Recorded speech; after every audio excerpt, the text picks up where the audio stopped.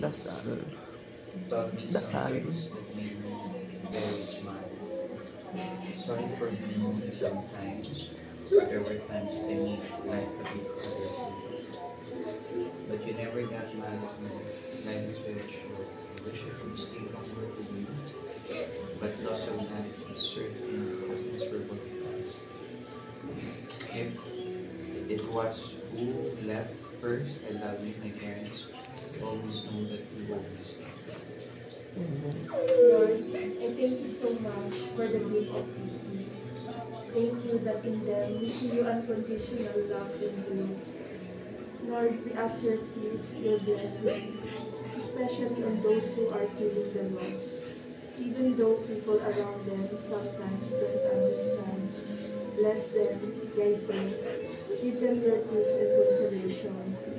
The Father, the Son, and the Holy Spirit. Amen. Amen. Sabi nga po nila,